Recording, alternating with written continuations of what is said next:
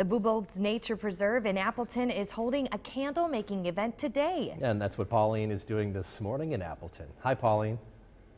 Hey, good morning, Doug and Emily. Good morning, everyone. Take a look at the setup here. We've got quite the operation going. Alyssa with Broken Wing Candles is going to be teaching this afternoon's event. So, Alyssa, what kind of candles are we making? Um, today we're going to be making soy wax candles. Um, we've got a variety of scents that people can choose from. So, this took a little bit of prep work. We shot some video earlier. Let's take a look at that. Alyssa, walk us through what it takes to kind of get these candles going here. Sure. So you start out with one pound of wax. That'll make that's enough to make two candles. And um, I've got a double boiler here, so we went ahead and um, melted that to 175 degrees. Once we got it to 175 degrees, I added some um, wax dye chips and stirred those in. Once I got it up to 185 degrees, I added one ounce of um, Day at the Spa fragrance, which is what we're going to be making today. Smells beautiful. Yeah, and um, they're going to be gold candles. And then once it got up to 185 degrees, we kind of kept it on the double boiler to make sure that the fragrance was going to mix in. And then after that, we have to set it to the side and let it cool down to 135 degrees, which is where we are right now. Okay, so that's where we are right now. Yep. Um, so, what do we do now?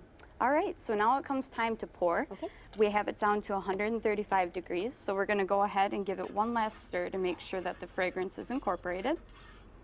All right. Now, why is temperature so important? So it's most important to get it up to 185 to add the fragrance because that gives it a really strong base. Um, you'll get the best scent that way because the fragrance is able to incorporate with the wax. Okay, and let's pour it in there. All right. Got a nice funnel. Makes it easy. And we already glued the, the wicks in there. Yep, so I pre-glued the wicks Okay. in.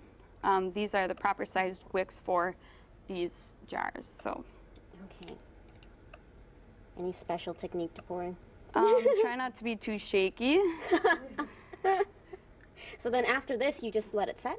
Yep, so we'll go ahead and tap on it a couple times just to make sure that you get all the air bubbles out. Okay. Um, and then we're going to go ahead and center the wicks.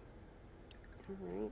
And so now while she's doing that, uh, Christine, this is the first of um, several events that are going to go on here at Bubolz. Tell me about it. Well, this is the first in a new series we're having called Earthly Creations, Arts and Crafts Series at Bubolz Nature Preserve.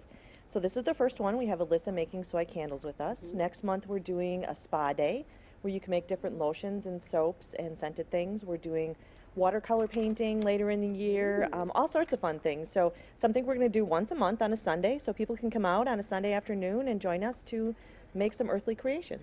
All right. So if you wanted to join in on this afternoon's fun, uh, don't forget to give Bubolz a call. We have all the information on our website. These are going to be the final products once they once they harden. So next hour, we're going to try something a little different. We're going to do layered candles. We're going to take it up a notch. It'll be fun. What a cool project to do, especially, you know, it's beautiful out Right. there, so you can still enjoy the snow, but then head indoors and make those candles. Really cool, Pauline. Thanks so fun. much. Stay warm. yeah.